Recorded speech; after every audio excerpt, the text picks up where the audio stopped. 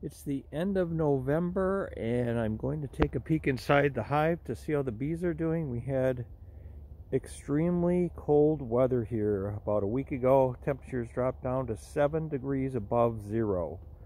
So some of the coldest nights ever recorded here in Milwaukee. So I'm not sure if my bees were able to cluster and survive. We're going to take a look and see what's going on inside the hive. I've removed the uh, top honey super and you can see when you look right here there's a nice group of bees sitting here up on top. Uh, they all look like they're nice well clustered together. So they have definitely survived. We're gonna put the uh, put the hive back on and put them inside there. I can see looking at the at the frames of honey there's quite a bit of honey in those frames. See them they're still capped lots of honey. That's great. That means the bees have food to eat. We have our own food patties that we are giving them too.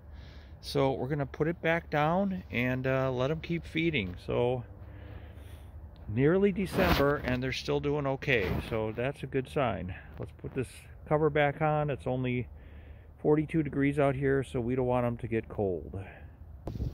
Here's our beehive now with the tar paper around it.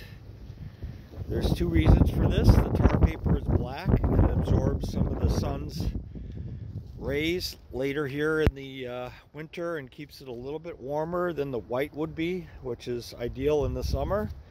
And then we've removed the little wine cork from here to keep this vent hole open so the bees can uh, have some airflow through the hive, both from the top here and then that little hole on the bottom we also put that little hardware cloth which is a mouse guard on the bottom. You can see there's one dead bee there.